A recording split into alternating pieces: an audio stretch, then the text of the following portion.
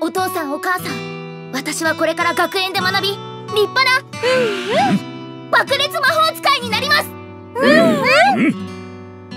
え？爆裂？まさか。爆裂魔法とは人生の全てを棒に振ってまでして覚えたところで全く使う機会のないただのネタ魔法なんだ。爆裂魔法？はネタ魔法ネタかどうかなんて関係ない。私は爆裂魔法を習得しあの人みたいな魔法使いになるんだ。もっとずっと超威力の必殺魔法を習得するのですから。あの爆裂魔法のことそうですよ。本気だったの？それが何か？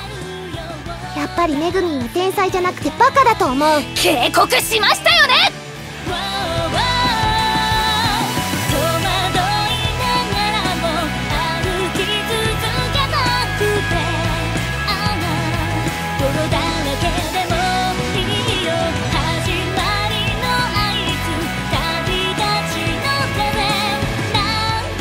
ちよ。決してその名を忘れるな。我が名はめぐみん。高魔族随一の天才にして爆裂魔法を操りし者食らうがいい。エクスプロージョン。この素晴らしい世界に爆炎を。